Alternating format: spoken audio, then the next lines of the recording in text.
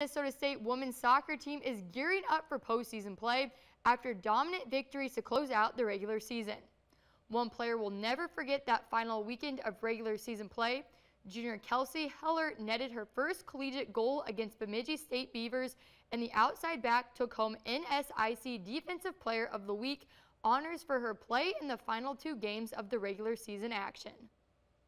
I was just at the right place at the right time, I think. Like the ball came out, I was standing right there. I'm like, you know what? I'm just gonna put it right back in there, and it went in. So I didn't really, I didn't even notice it till I, everyone was like running at me, like screaming, and I was like, oh my God, I just scored.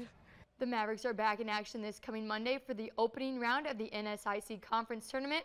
The team will find out who it plays later this week. That's all for sports. Stay with us.